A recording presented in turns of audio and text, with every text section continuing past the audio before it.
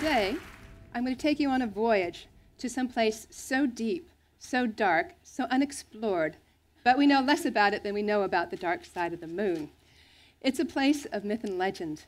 It's a place marked on ancient maps as Here Be Monsters.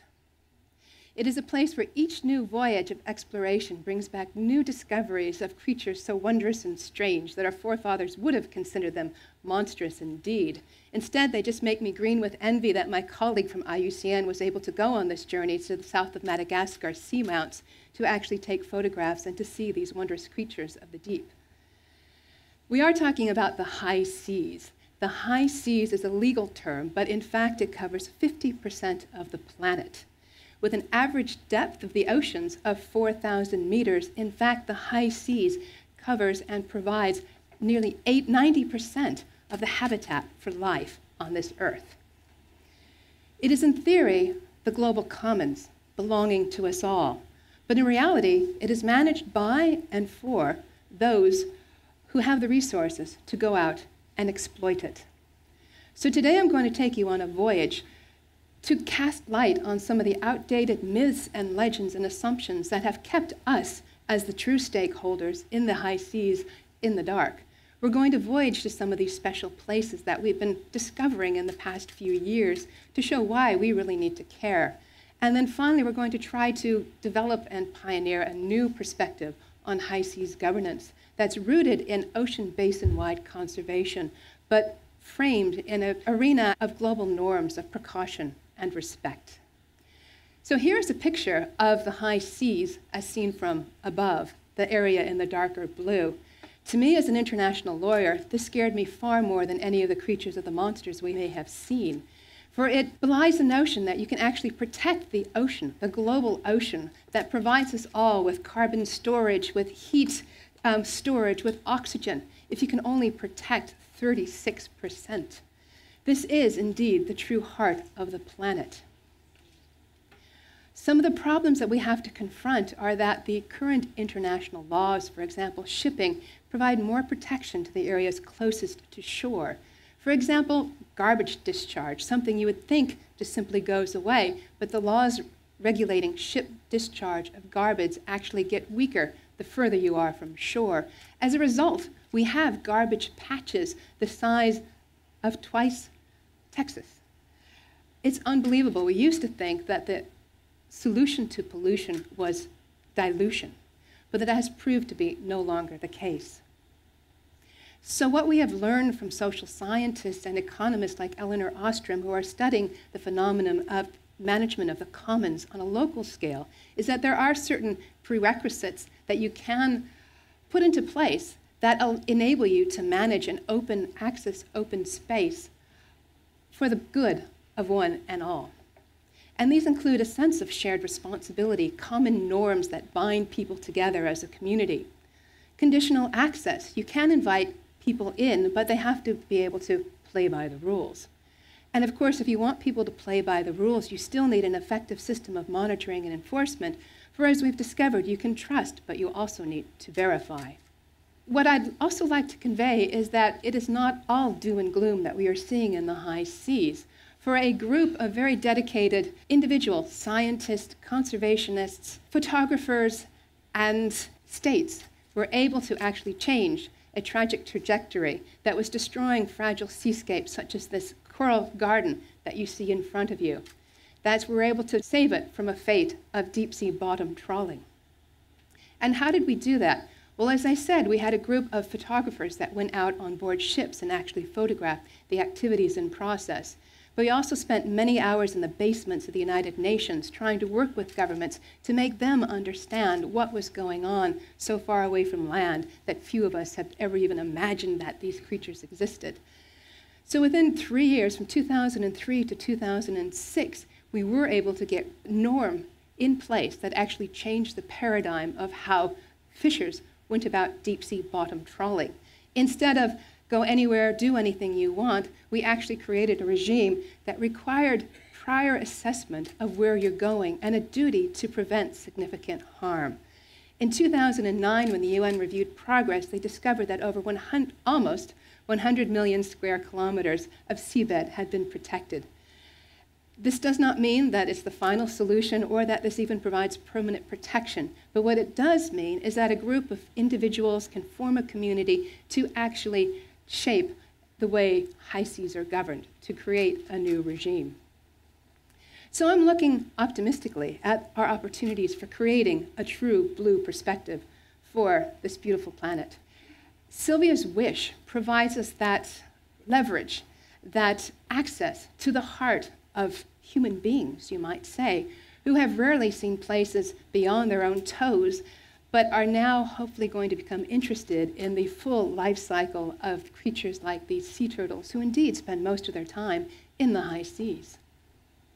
Today, we're just going to voyage to a small sampling of some of these special areas, just to give you an idea of the flavor of the riches and wonders they do contain.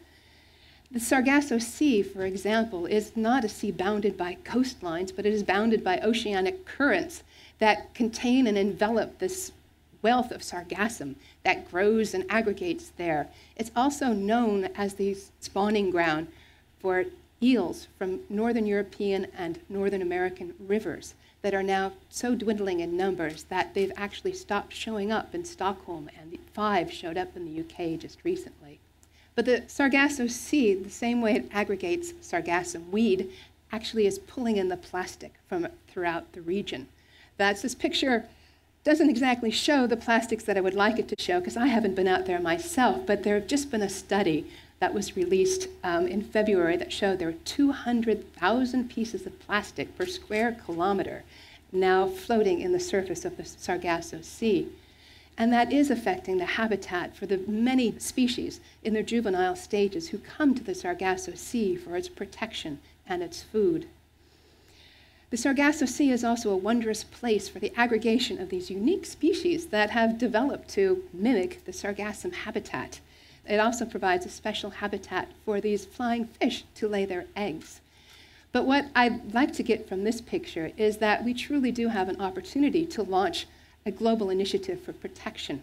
That's the government of Bermuda has recognized the need and its responsibility as having some of the Sargasso Sea within its national jurisdiction, but the vast majority is beyond, to help spearhead a movement to achieve protection for this vital area spinning down to someplace a little bit cooler than here right now, the Ross Sea in the Southern Ocean, it's actually a bay. It's considered high seas because the continent has been put off limits to territorial claims, so anything in the water is treated as if it's the high seas. But what makes the Ross Sea important is the vast sea of pack ice that in the spring and summer provides a wealth of phytoplankton and krill that supports what till recently has been a virtually intact nearshore ecosystem. But unfortunately, CCAMLR, the commission, the regional commission in charge of conserving and managing fish stocks and other living marine resources, is unfortunately starting to give in to fishing interests and has authorized the expansion of toothfish fisheries in the region. The captain of a New Zealand vessel who was just down there is reporting a significant decline in the number of these Ross Sea killer whales who are directly dependent on the Antarctic toothfish as their main source of food. So, what we need to do is to stand up boldly, singling and together, to push governments, to push regional fisheries management organizations to declare our right to declare certain areas off limits to high seas fishing so that the freedom to fish no longer means the freedom to fish anywhere and any time. Coming closer to here, the Costa Rica Dome is a recently discovered area, potentially year round habitat for blue whales. There's enough food there to last them the summer and the winter long. But what's unusual about the Costa Rica Dome is, in fact, it's not a permanent place. It's an oceanographic phenomena that shifts in time and space on a seasonal basis. So, in fact, it's not permanently in the high seas, it's not permanently in the exclusive economic zones of these five Central American countries, but it moves with the season. As such, it does create a challenge to protect, but we also have a challenge protecting the species that move along with it. We can use the same technologies that fishers use to identify where the species are in order to close the area when it's most vulnerable, which may in some cases be year round. Getting closer to shore where we are, this was in fact taken in the Galapagos. Many species are headed through this region, which is why there's been so much attention put into conservation of the eastern tropical Pacific seascape. This is the initiative that's been coordinated by Conservation International with a variety of partners and governments to actually try to bring integrated management regime throughout the area that it provides a wonderful example of where you can go with a real regional initiative. It's protecting five World Heritage sites. Unfortunately, the World Heritage Convention does not recognize the need to protect areas beyond national jurisdiction at present. So a place like the Costa Rica Dome could not technically qualify the time it's in the high seas. So what we've been suggesting is that we either need to amend the World Heritage Convention so that it can adopt and urge universal protection of these World Heritage Sites, or we need to change the name and call it half the World Heritage Convention. But what we also know is that species like these sea turtles do not stay put in the eastern tropical Pacific seascape. These happen to go down to a vast South Pacific gyre where they spend most of their time and often end up getting hooked like this or as bycatch. So, what I'd really like to suggest is that we need to scale up. We need to work locally, but we also need to work ocean basin wide. We have the tools and technologies now to enable us to take a broader ocean basin wide initiative. We've heard about the Tagging Pacific Predators Project, one of the 17 Census of Marine Life projects. It's provided us data like this of tiny little sooty shearwaters that make the entire ocean basin their home. They fly 65,000 kilometers in less than a year. So we have the tools and treasures coming from the Census of Marine Life in this culminating year that's going to be launched in October. So stay tuned for further information. But what I find so exciting is that the Census of Marine Life has looked at more than the tagging of Pacific predators. It's also looked in the really unexplored midwater column where creatures like this flying sea cucumber have been found. And fortunately, we've been able, as IUCN, to team up with the Census of Marine Life and many of the scientists working there to actually try to translate much of this information to policymakers. We have the support of governments now behind us. We've been revealing this information through technical workshops. And the exciting thing is that we do have sufficient information to move ahead to protect some of these significant hope spots, hotspots, at the same time as saying, yes, we need more, we need to move forward. But many of you have said, if you get these marine protected areas or a reasonable regime for high seas fisheries management in place, how are you going to enforce it? Which leads me to my second passion besides ocean science, which is outer space technology. I wanted to be an astronaut, so I've constantly followed what are the tools available to monitor Earth from outer space, and that we have incredible tools like we've been learning about in terms of being able to follow tagged species throughout their life cycles in the open ocean. We can also tag and track fishing vessels. Many already have transponders on board that allow us to find out where they are and even what they're doing. But not all the vessels have those to date. It does not take too much rocket science to actually try to create new laws to mandate if you're going to have the privilege of accessing our high seas resources. We need to know, someone needs to know where you are and what you're doing. So it brings me to my main take home message is which we can avert the tragedy of the commons. We can stop the collision course of 50% of the planet with the high seas. But we need to think broad scale. We need to think globally. We need to change how we actually go about managing these resources. We need to get the new paradigm of precaution and respect.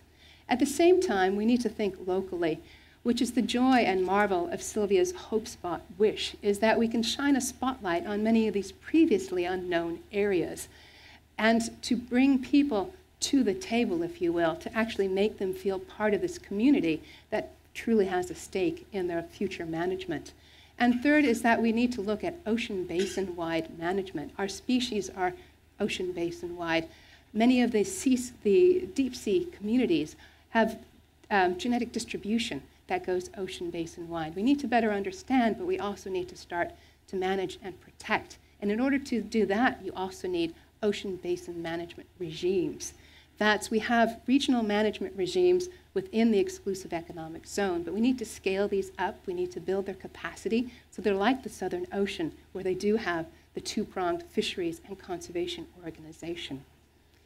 So with that, I would just like to sincerely thank and honor Sylvia Earle for her wish, for it is helping us to put a face on the high seas and the deep seas beyond national jurisdiction. It's helping to bring an incredible group of talented people together to really try to, try to solve and penetrate these problems that have created our obstacles to management and rational use of this area that was once so far away and remote. So, on this tour, I hope I've provided you with a new perspective of the high seas, one that it is our home too, and that we need to work together if we are to make this a sustainable ocean future for us all. Thank you.